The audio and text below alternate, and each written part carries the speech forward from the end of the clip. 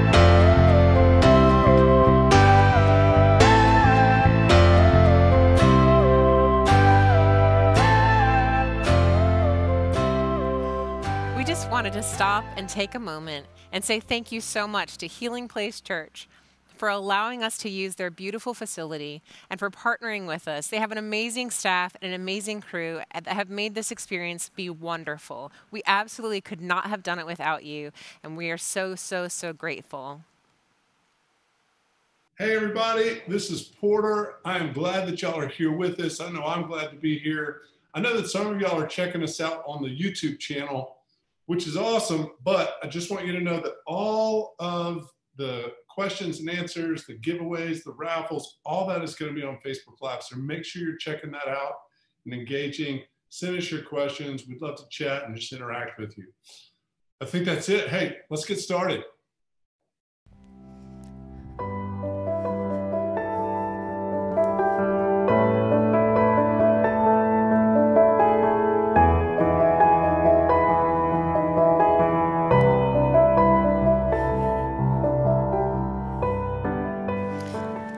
You know, I can't think of a more fitting time to talk about getting a handle of our emotions as this year, 2020. I mean, what a year it's been. Before I get started, I get too much into this. You know, we got to admit it hasn't been all bad. I can tell you that the mental health business and Zoom, they're just completely rocking it this year. Uh, one of the reasons I know that is I'm an online therapist with BetterHelp, and I personally have turned away about 300 clients since June. So we got to get this. This is an important part. What is the deal about stress and mental health? So the best way to do that is for you and I to take a trip backwards and go back to high school biology. That's where the answers are. I'm sure you remember it because it was just like yesterday for all of us. But there's four lobes in our brain. The one that you and I are going to talk about is the temporal lobe. That's where all the action is, where with our fear center. And with that small reaction that everybody's talking about, the stress response, the fight, the flight, or the freeze. See, when we get stressed, there's something that's going on that's just completely automatic. What's happening is our mind is going on hyperdrive. Our mind is telling our body to get ready because we're in for something. We're in danger right now. Physiologically, what's happening is your heart is going nuts, your breathing rate is going up, and your muscles are getting tight because we got to meet the challenge. But there's some other things that are going on that you've got to be aware of. Here's the deal if this particular action our reaction goes on for a long period of time without breaks in the middle, what happens is that we actually develop these neural superhighways within the temporal lobe, meaning that they're feeding off of one another, and memories and feelings are coming out. And the only problem with that is what happens eventually, too, is that we lose that connection to the frontal lobe. Brothers and sisters, that's a place that we need. That's the frontal lobe. That's what's telling us how to respond to things logically and with rational thought. But there is something they didn't teach in high school. It's kind of like a small evolutionary gl- glimpse at the system. Our brains can't really distinguish between imagined threats or, or real threats. So, what's happening is you and I are having the same reaction just thinking about getting coronavirus as we are actually when we receive the diagnosis over the phone. There's another small glitch going on is that we have a really hard time figuring out when we're in physical danger and when we're in social danger. So you might be going, oh, that's why, meaning that when we become, when we get criticized, our minds and bodies are having the same physiological reaction as we did if we were trying to get out of the way of an approaching car. A couple of really important things to know about. But I think the bottom line is this when we really think about it, I think our dogs and cats, they're probably a lot happier than we are. Definitely a lot more peaceful. Well, here's the million dollar question, right? Why did Jonathan ask me to talk to you about this? We, how do we get untethered to all this emotional unrest that's happening? Well, today's your lucky day. Because I thought of a, an acronym that's really simple to remember. And this is the way to get untethered get a handle of our feelings, and that is this the acronym is I am. As simple as that. I am. So, what does it stand for, right? It stands for identifying, accepting, and mitigating all those thoughts and feelings that are going around in our brains on a daily basis. Now, I've been hanging out with this community for about 25 years now, so I can almost hear you saying to me from, from your homes, Now, wait a minute, Deb. You're telling me the only thing I need to do to become more peaceful is to do these things I am? Well, do you, do you know me? I am an emotional mess. That's what you might be saying at home. So, you know what? I accept the challenge and let's break it down. So, here's the deal we know that we have thousands and thousands of thoughts a day.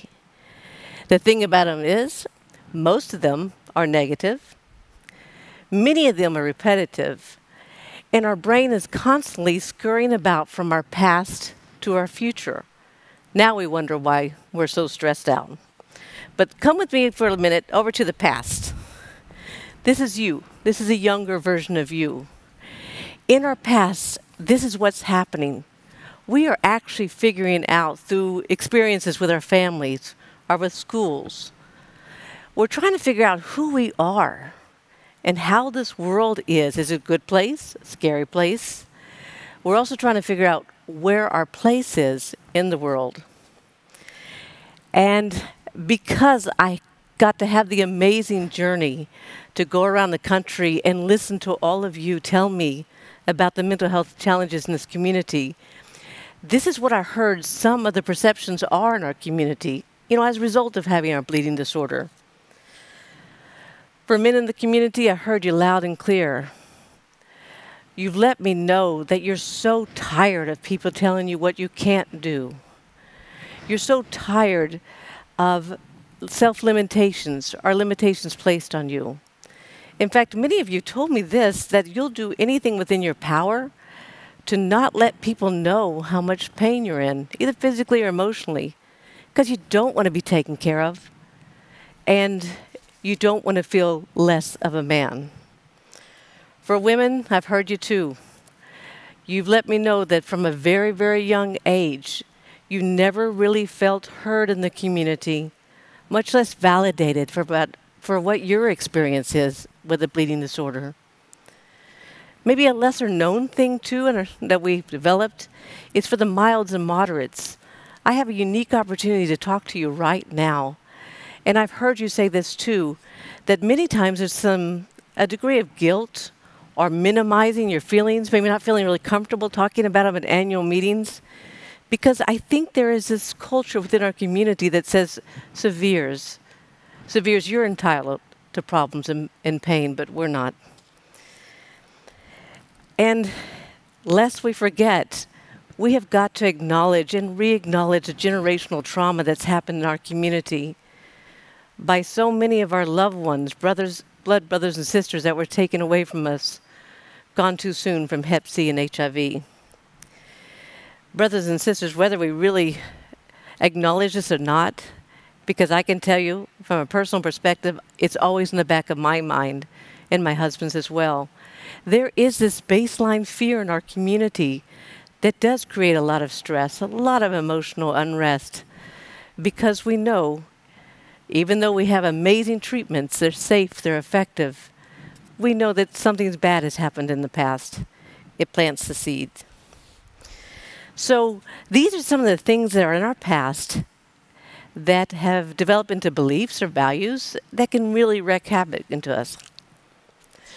So now we need to go to something else. There's, there's a book that says this many times when we develop some kind of assumptions, when there's danger, they can fall into a couple of categories. Let's see which one resonates with you, right? Sometimes we develop an intolerance of uncertainty. This is that kind of person, you've seen them before. They just won't make a move until they're completely certain, or they've gotten a lot of people's different points of view about what they should do. Perfectionism, learning that it's just not okay to make a mistake. The cousin of perfectionism has to do with this feeling of not being good enough, the imposter syndrome. If you really knew me, you would know I really don't have my stuff together. And then there's another one, and I see this in our community so much. We develop this mindset. Our way of controlling things is to be overly responsible for others, meaning that um, I'm in charge of your safety and even your happiness. So you can imagine this can get pretty, pretty stressful. Now, I know we're talking about some heavy stuff, and I'm supposed to be talking about how we can get untethered from this. But before we get there, let's go ahead and go to the future. Here's that other place. Here's that other place that has all kinds of strife and stress.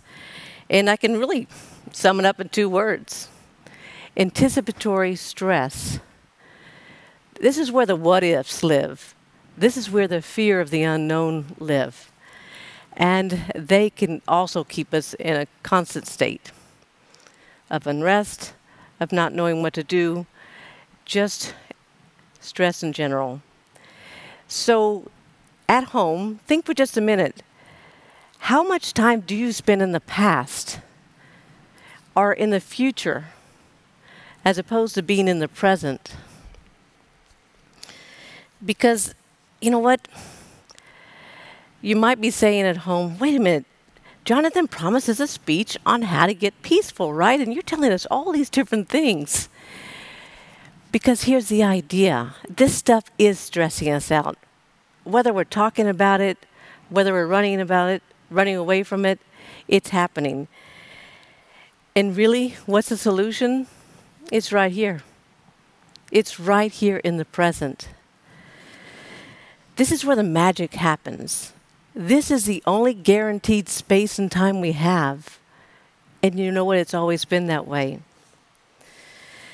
What we have to do is plant our feet firmly in the present and create this space where we can actually think about our automatic thoughts that are popping up, those thoughts we developed a long time ago, and see if they still are important today, see if they even make sense today. Things like do I still need to be perfect to be valued? Am I enough just how I am? Can I admit to being scared and still be a man or be a competent person? If people have seen me speak, they know that um, I always try to make something personal of it. And for me, it's just as healing as maybe you hearing the words. But for me, I had to get through two demons. Two demons in my past had always kept emotional unrest in me. And that is, I'm okay if other people are not okay with me. That's something I wrestled with for a long, long time kind of comes out of conditional love in a childhood, but that's another story. And also, I really feel felt that I needed to do everything I could to make sure we turned down interpersonal tension because I just can't handle it. Now you can imagine how much energy all of that takes, right? It takes me out of the present every moment. So what is this? So I've done my identifying, right? But what is this acceptance part of this? You just accept that's who you are and that's how you'll always be?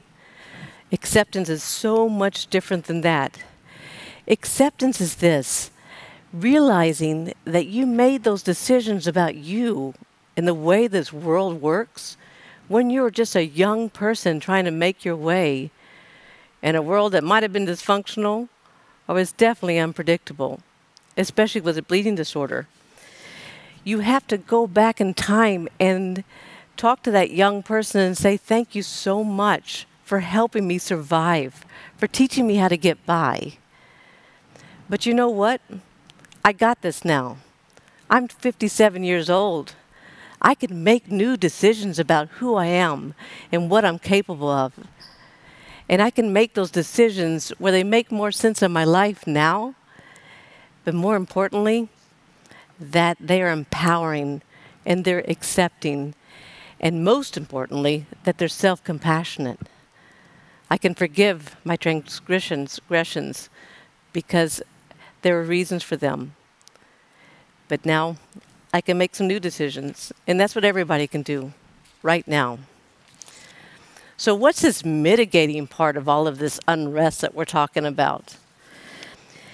This is where it gets tricky because our instinct is to do this. When we're sad, or anxious, or angry, our instinct is to avoid that pain, to go drink it away, to go busy ourselves away, to become self important. And the thing about it is, that just keeps it going because it doesn't end. The only true way to get out of this anxiety cycle is to be willing to stay in that space of all those uncomfortable emotions. Being able to stay there, mitigate. It's a lot like metabolism. If you've had too much to drink, I know this sounds strange, but it's a lot like that. After a while, the effects are going to go off. You can handle this. Allow the feelings to wash over within you. That's the way that you're able to stay in a space and you're able to take make new decisions and do new things that help you get out of these mindsets that we developed as kids when we were just trying to figure out how to survive. I believe in one of the components of Buddhism, and that really is that um, most of man's and woman's suffering it comes from the resistance of pain. We ruminate about problems. We anticipate we're angry at having bleeding disorders. I completely understand that. But just allowing it to flow is a way to get personal freedom. So, one of the things you can do too, as silly as it sounds, is you can thank those old coping mechanisms that you've developed.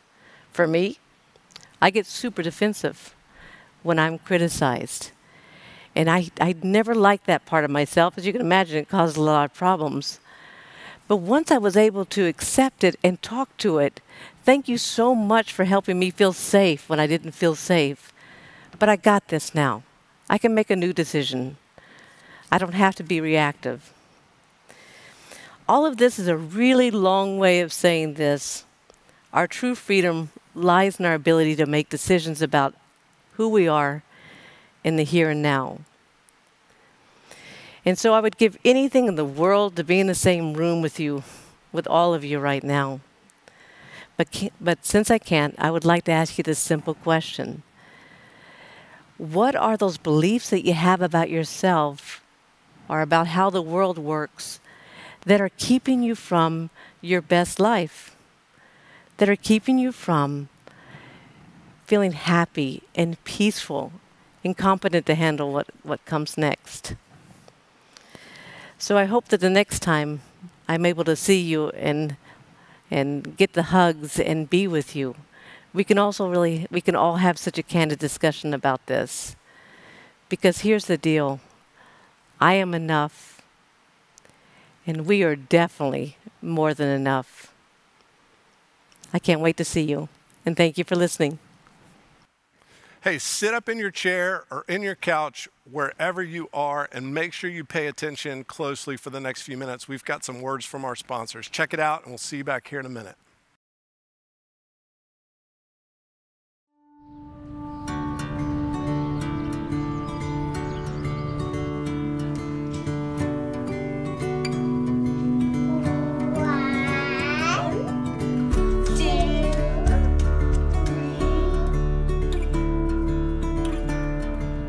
Which one is it gonna be, Anthony?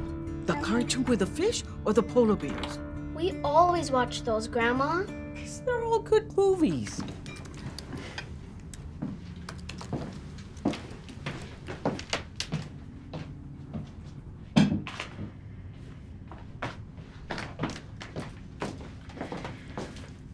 So what's the good news? There's about 8 million results. Is that all? Where do we start? How about this? Um, let me run through what the nurse talked about today and what we should expect when we go in tomorrow. And we can deal with all the pamphlets and these links tomorrow. Perfect. Anthony didn't seem nervous at all. He was so chill. That's great. I turned to him and said, I'm so proud of you. That's great.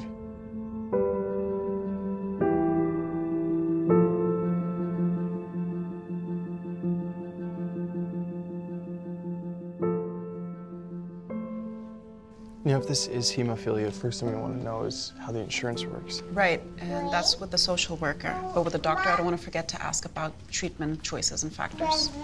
Factor. Right, factor. Um, the medicine we Googled last night. Come on, Dad. Go.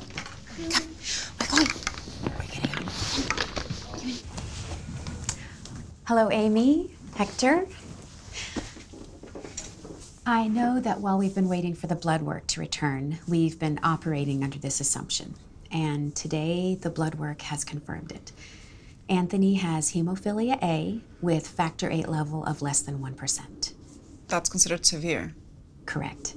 Now, this means you and Anthony will initially need to come in for treatment. You'll learn about Insurance? What about factor? Correct. I'm sure you have many questions on many topics. We'll get through it all.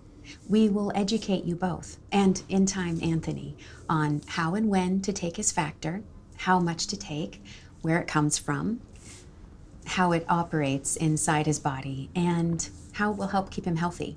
It sounds like a lot, but Nurse Jess and I, and the whole team here at the HTC, will be here to guide you through. We treat around 100 patients just like Anthony, and whose parents have been in your shoes before. You will become experts on this, I assure you, and sooner than you may think. Step one familiarize yourself with these pamphlets. We have your next appointment down for Thursday when we'll take step two together. Okay?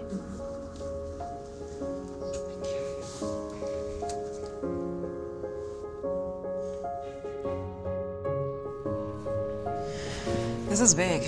This is gonna be a big change. Is this real? Yeah, but we'll figure it out.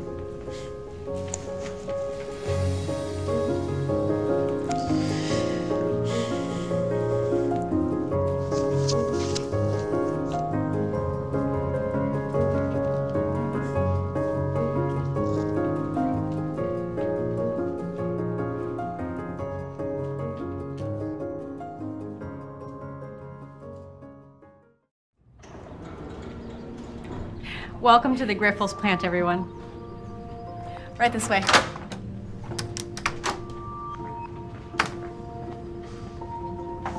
Grifols is respected in the hemophilia community for our storied history of being problem solvers and innovators. We pride ourselves in identifying challenges within the community and working to solve them. Today is a great example of that commitment. We needed to teach community members about our plasma products, but the usual pamphlets and PowerPoints just aren't cutting it anymore. So we took some of our engineering prowess and put it towards a special experience crafted just for families like you.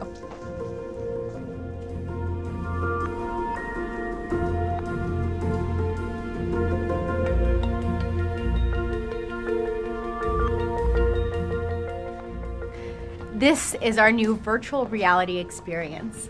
What if you could see where your factor comes from? We wanted to bring you, the community members, directly into our plasma process. We've offered free tour of the plant for years, bringing a handful of patients through whenever possible. But instead of bringing patients to the plant, a virtual reality tour now allows us to bring the plant to patients all over the country.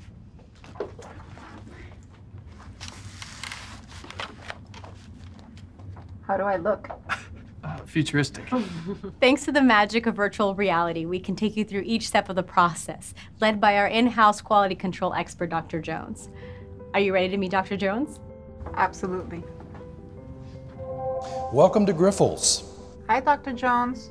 We require a pristine plant environment. From the plasma donation center to the plant, rigorous safeguards are in effect at every step in the process to help ensure our plasma products can be taken with confidence. In fact, five of our essential steps to safety take place at the point of plasma donation at our plasma donation centers. Now, are you ready for the tour?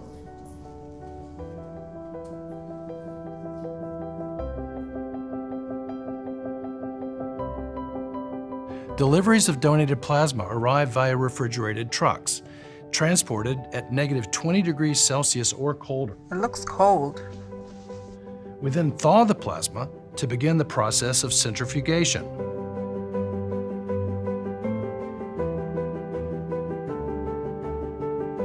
In the Viral Control Center, the plasma is run through several processes to separate out the factor VIII protein. The protein is then run through ultrafiltration, concentrating it from around 120 kilos down to 40 kilos. After factor VIII purification, the factor VIII protein moves into its final stage of the process, what we refer to as aseptic filling. Aseptic filling refers to the process of putting a sterilized substance into a sterilized container, like a vial. The custom technology we use was invented right here at Grifols. We even use a special airflow system to help ensure the process is clean and safe before we lyophilize or freeze dry and vacuum seal the vials of what we now can call factor. We believe this attention to detail in creating and bringing you factor VIII treatment may mean you, your child, those you care about can get back to a more normal way of life. I'm sure you have plenty of questions. You should. My advice is to write them out before your appointments at HTC. It's important to seek clarity and be your own advocate when it comes to your health care. Thank you. You've given us a lot to think about. Yeah, very cool. But still processing it all. Me too. It's a lot. In a good way. Yes, in a good way. Thank you. Sure. Thank you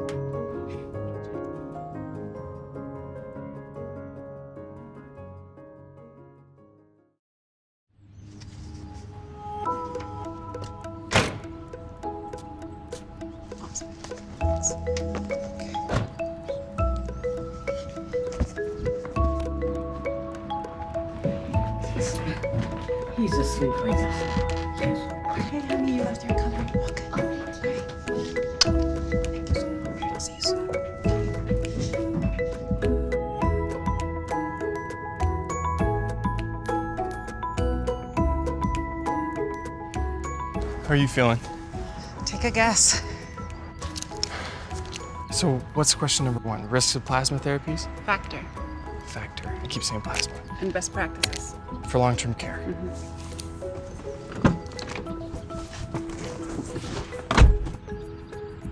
I think more than anything, I wonder what Anthony's life is gonna be like. In the next five years, or 10 years, or 30 years. Well, that's another good question for Dr. K.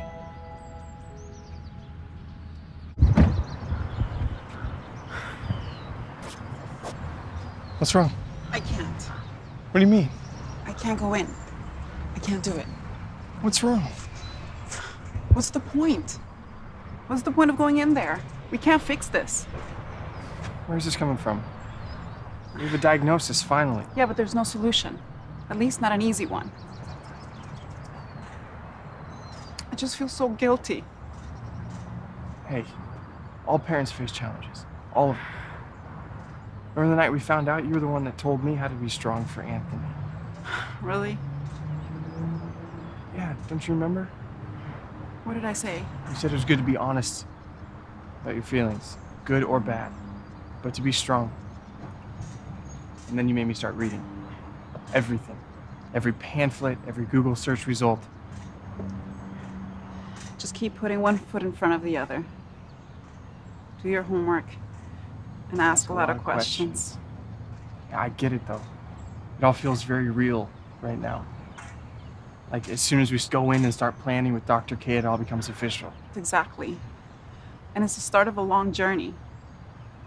I just really want to get this right, you know? I want to get it right for Anthony. You want some advice? Maybe. It's good to be honest about your feelings. Good or bad. but be strong. I came up with that. And just do your homework. And ask a lot of questions. Whoever came up with that is very smart and a good parent. The best. Right? Now, how have the last few days been? Well, in all honesty, I felt panicked. There's so much to read and so much to know. Yes, things can be very overwhelming early on. But the more I learn about this, the better I feel. I just want my Anthony to be able to lead a comfortable life. Amy, nowadays, with the products that are available to treat hemophilia,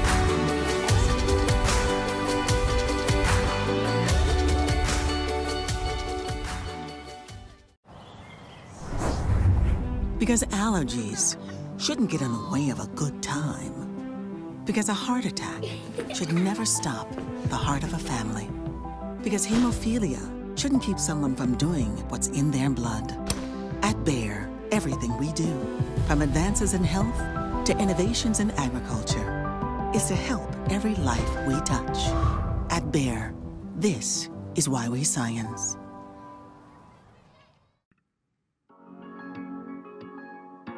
My name is Nikita, and I'm from Tennessee. And I have the pleasure of serving patients in Arkansas, Louisiana, and Tennessee, supporting the Southeast region. A Sanofi Genzyme Core Manager is a person that has the opportunity to go out into the community. We partner with the local chapters, we provide education, but most importantly, we have the pleasure of listening to the community. It is my role to be that resource to you and your family on all aspects of our company. When my children were diagnosed with hemophilia, the community was right there for me to let me know that I was going to make it through. And this is my way of saying thank you, being that resource to the next family that comes along.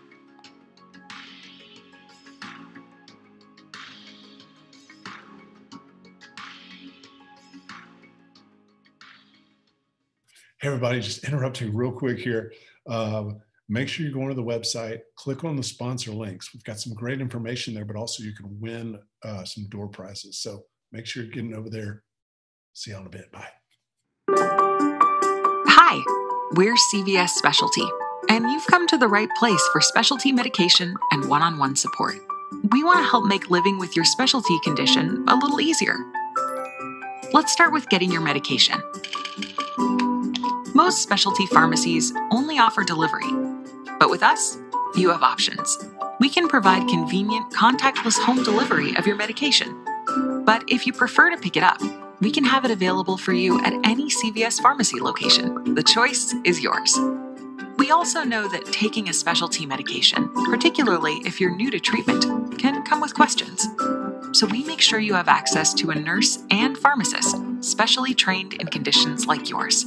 Together, they're known as your CVS Specialty Care Team, and you can rely on them for trusted information. Send your care team a secure message on our website or mobile app. They can help with questions about your medication order status, billing, or even side effects. For even more convenience, use our digital tools to manage your medication. You can refill prescriptions, monitor order status, make payments, and much more anytime online. These are just some of the ways we can help you manage your specialty condition. We're CVS Specialty, and we'll be here when you need us because you are our specialty. For more than 50 years, scientists have been investigating and evolving gene therapy, an approach that aims to address a genetic disease, such as hemophilia, at its source, the gene. Genetic diseases can be caused by gene mutations, meaning the body does not have the instructions it needs to create the right proteins. Research is exploring whether a new functional gene can be delivered into a cell to provide instructions to make a desired protein, such as factor 8 or 9 in the case of hemophilia. Together, let's explore the science behind this investigational approach with our 3D vector model. In gene therapy research, we need a way to get the functional gene into the body. A transporter, called a vector, is used. Vectors are made from modified viruses. You may associate viruses with things that make you sick, but the most commonly used virus for hemophilia gene therapy research the adeno associated virus, or AAV, was chosen because it is not known to cause human disease. A virus is transformed into a vector by removing the viral genetic information. Now, the modified viral based shell can serve as a delivery vehicle. In a laboratory, the new functional gene is created. It contains the instructions for the cell to make a necessary protein, such as factor 8 or 9. Once created, the new functional gene is placed inside the shell. Together, they become a vector. In hemophilia gene therapy research, the vector is delivered to the body by IV infusion into the blood. The goal is to deliver the new functional gene to the liver cells called hepatocytes. Each viral vector has its own attraction, or tropism, to a certain cell type. In hemophilia, for example, AAV is attracted to the liver's cells. Once the vector reaches the liver, the new functional gene can enter a cell's nucleus or command center, where it sits next to the existing DNA. If transferred successfully, the new gene instructs the liver cells to make the necessary protein. In the case of hemophilia, the gene enables the production of clotting proteins. Safety and efficacy have not been established. Studies of investigational gene therapy are ongoing, and participants continue to be followed. To learn more about gene therapy research for hemophilia, visit hemophiliaforward.com or talk with your healthcare team.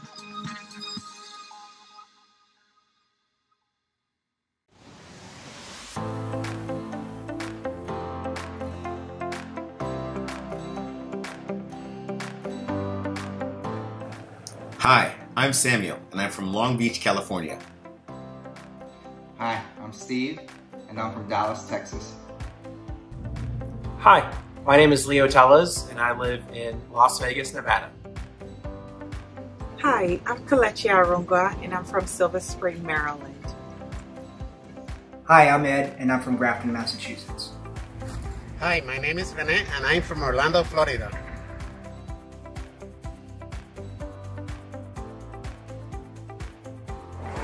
Howdy, folks. It's Paul from Austin, Texas.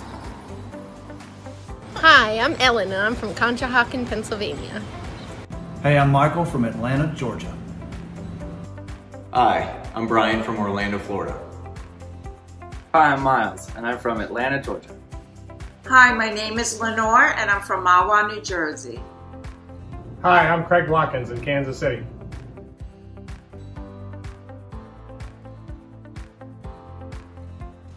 Hi, I'm Nora, and I'm from Erie, Pennsylvania. Hi, I'm Mike, and I'm from St. Louis, Missouri. Hi, my name is Orson, and I'm from Charlotte, North Carolina. I'm Patrick, and I'm from Libertyville, Illinois. Hi, I'm Karen, and I'm from Bethlehem, Pennsylvania. Hi, I'm Jeremy from Denton, Texas.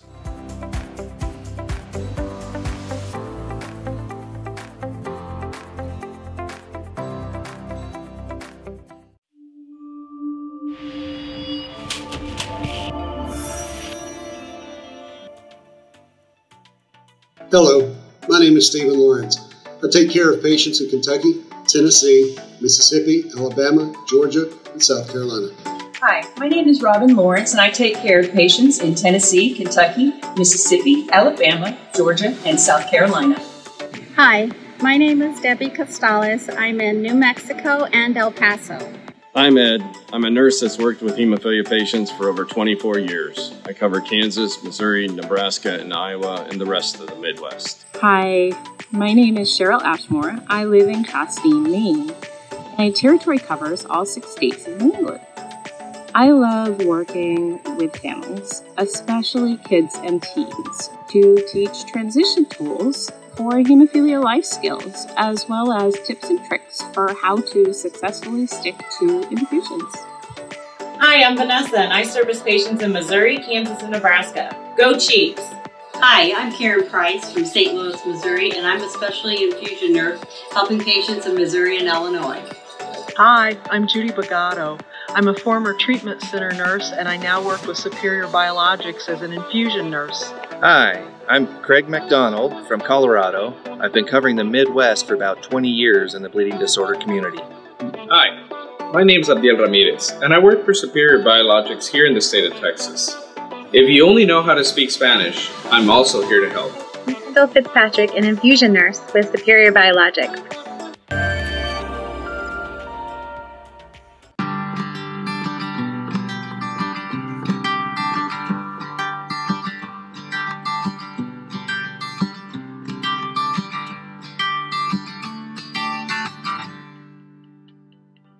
Kedrion Biopharma produces and distributes plasma derived products to treat rare diseases such as hemophilia and primary immunodeficiencies.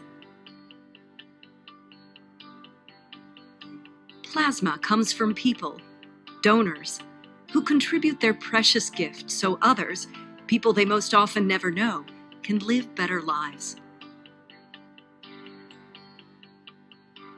We act as a bridge between donors and patients by turning plasma into life saving therapies to serve patients all over the world.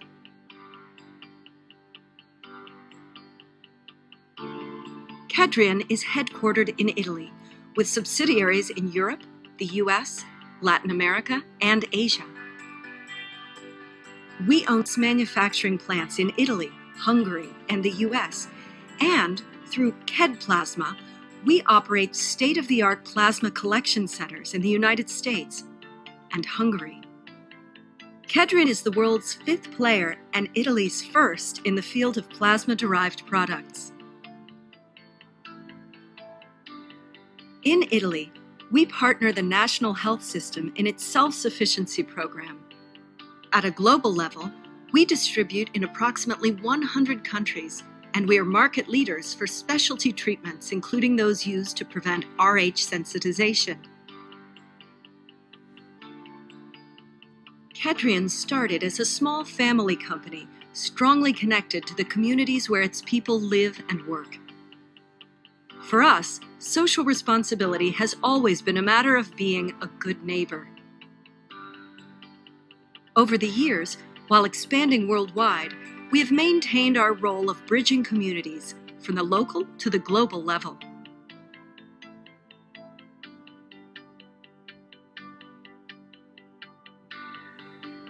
Innovation means contributing to improve the quality of life of people affected by rare diseases.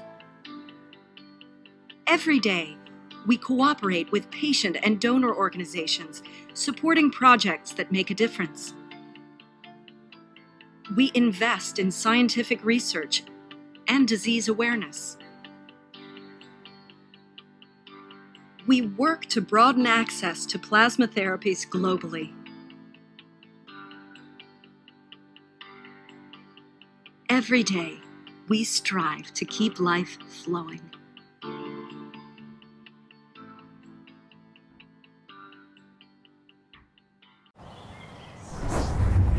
Because allergies shouldn't get in the way of a good time. Because a heart attack should never stop the heart of a family.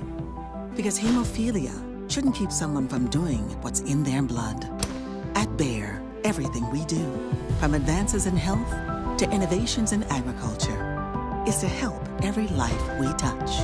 At Bayer, this is why we science.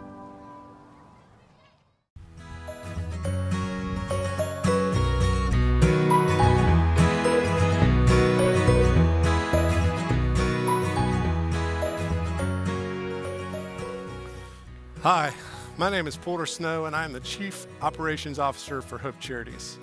Myself, along with the Hope Charities team, would like to give a big thank you to all of our event sponsors Genentech, Octapharma, Novo Nordisk, Medexus, ARJ, Bayer, BioMarin, Brothers, Cottrells, CSL Behring, CVS Specialty, Ethical Factor, Evolutionary RX, Family Factor, Fidelis, First Choice, Grifols, HPC, Kedrion, Matrix, Pfizer, Rare Patient Voice, Sanofi, Spark Therapeutics, Superior Biologics, and Takeda. And we would also like to give an extra special thank you to our advocate sponsors. These are our sponsors who, day in and day out, year after year, have committed on an annual basis to support our organization and to help those in need. Those sponsors are ASAP, DrugCo, InfuCare RX, InTouch, Paragon, and Specialty Therapeutic Care. We appreciate it and thank you for participating and sponsoring the Hope Conference 2020.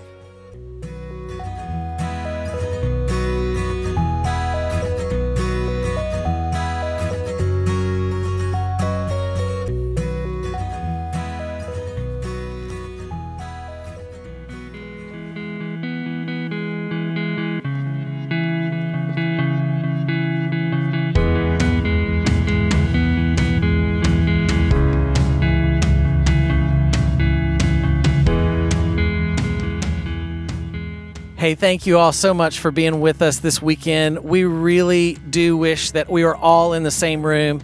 But truly, even though we can't be together physically, we do feel like that we have been with you in heart. We thank you so much for spending time with us and being a part of the Hope family. We really do see you, each and every one of you, as just an extension of our family as we connect in moments like these. And we really are better together. That's not just a saying for us. I think we really feel that and we mean that. And I asked my wife, Carla, to join me tonight just to be able to share some of her thoughts and to uh, encourage you just from her, her uh, point of view with, with hope as well. Because for us, this is not just a me thing, it's not just a you thing, it's a family thing. And so, Carla, you have any thoughts you'd like to share with people tonight? Yeah, we just wanted to say how much we love everybody and how much we miss everyone.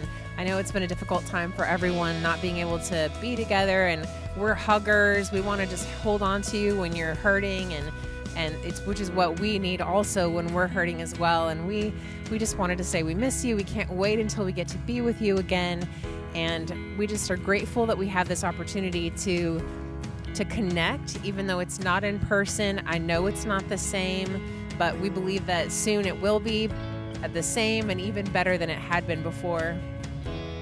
Yeah, sometimes you don't even know what you have until it's been taken away, right? And I think that's true for all of us, whether it's that you're dealing with pain or whether it's dealing with family issues and different things that go on in our lives. But I think this year has made me feel even more endeared to our times and our moments Absolutely. together And uh, I'm looking so forward to when we can be together again.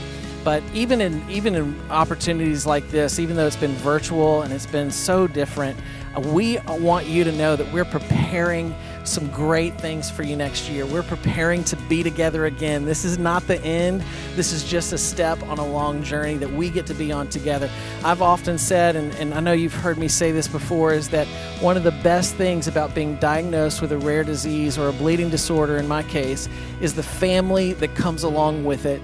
And we're here to be able to connect with you, not just in moments where we're all gathered in one big event, but we're also here to connect with you on the day to day level as well.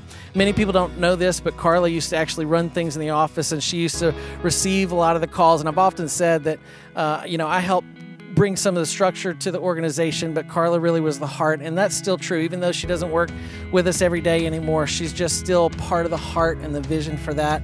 And uh, there's so many people out there that are in need and that need our help in our community, and we just need each other. And so, practical daily things that we can do to serve one another is really what we're here to do as an organization, and we hope that we can do that as a team and as a group. Yeah, please, please, please remember you are not alone. That is not just a saying that we say, it's something that comes from life experience ourselves. And we, we just want you to remember that. We've had to remember that ourselves. Even our team has not been together all of the time as social distancing has been a necessity. We just want you to remember you are not alone. We're here if you need us, we're here when you need us, and not even, we're, we're here preemptively. We're, we're here to be a part of your family to be your friends and let's continue to build a relationship with each other even if we have to do it through facetime or we do it through zoom or we do it through hope groups we just want to continue to build together and love each other and, and don't feel like we have to walk through this alone you know, even in our experiences this weekend, we felt like we've been able to connect with each other a lot better. And uh, once again, I just want to say thank you so much for carving out time. You know, one of the highest value commodities that any of us have in this life is time. And the truth is is that you have invested time with us this weekend and we don't take that lightly. And we want to say thank you. We also want to say a big thank you to all of our sponsors. There's so many people behind the scenes that helped us do this. Our amazing staff who helped put this incredible event together. All of the hundreds of volunteers that have been behind us through the years to help thrust us forward into all the things that we've done. We could not do it without you. We're so grateful for each and every one of you. So many people are coming together, even in hope groups on a regular basis, and every single one of you matter, and they ma- and you matter to us. And we're so grateful that you spent this weekend with us. So thank you so much for investing your time, your energy with us this weekend. And we cannot wait to be back together when it's appropriate and when the time is right. And we certainly hope that you really have felt inspired, lifted up, and built up this weekend as we've been together. we love you and we can't wait to be with you again